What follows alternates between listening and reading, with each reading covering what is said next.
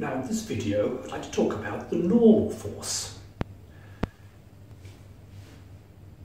The normal force happens whenever two solid objects touch, like when I rest my arm on a chair or lean against the wall. Let's consider what happens if I take a book, quite a heavy book, and put it on this chair. Now imagine drawing a free body diagram for the book. The book weighs quite a lot, about a kilogram in this case. So that means there's a force downwards on the book due to its gravity of mg, so about 10 newtons downwards. However, the book is not accelerating downwards, it's not accelerating upwards, it's just sitting there. That means, by Newton's law, that there must be a balance of forces. So there must be some upward force equal and opposite to the weight that's stopping it from falling down. And that's the normal force. And what's quite remarkable is that the normal force is exactly right. If the normal force is too big, the book would accelerate upwards. If the normal force is too small, it would drill a hole in the chair and fall downwards. But somehow this chair knows exactly what force it has to give to this book to keep it exactly here. And even more remarkable, let's say I replace the book with something heavier, like me. It's still suspended. Somehow the normal force has increased. It's now implying a normal force 10 times more, 100 times more, and it's still keeping me perfectly level. So how is it doing this? Well, the easiest way to think of it is to imagine this chair as a giant spring. You see when I sit on it, it squashes down a bit.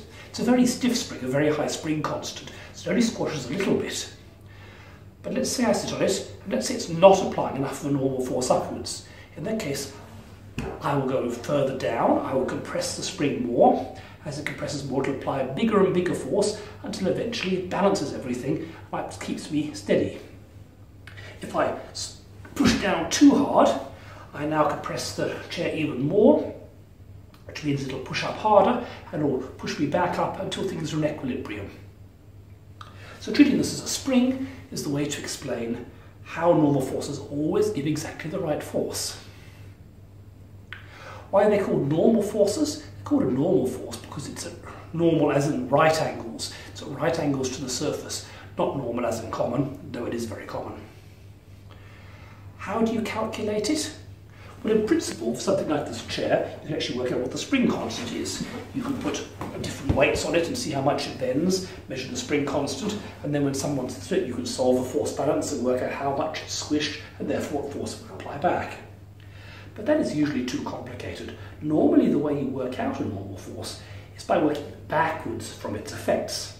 So in this case, if I'm leaning on it, you can work out how much force I'm applying to it, and as I'm leaning on it and I'm not falling down, it must be applying just the right force to stop me sinking into or being flung out of the surface. Likewise, if I put a book on the surface, the normal force must be just whatever you need to stop the book sinking in, being flung up into the air. Okay, let's see how we actually work out the normal force. As an example, let's consider a weight sitting on an inclined plane. That might be a book resting on a slope or something like that. Now the book is not sinking into the ground, it's not bouncing up off the ground, it's not sliding up and down. Therefore the forces on it must balance. If they didn't balance, it would be accelerating in some way. That's F equals ma. So let's draw a free body diagram for the book. It's going to have mg downwards, its weight, it's going to have a normal force, which by definition is normal to at right angles to the surface. And it's probably going to be a friction force pointing up the slope to stop it sliding down. If, there, if it was an icy slope, then the thing would just slide down regardless, so there must be friction necessary to keep it there. So if we draw it here, we've got friction, normal force, and the weight. Now how do we work out the normal force?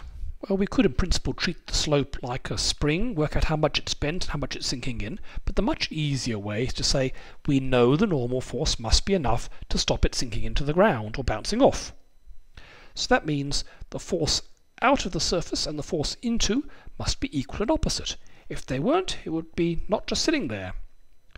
So what we do is you work out the net force into the surface, and the normal force must be equal and opposite to that.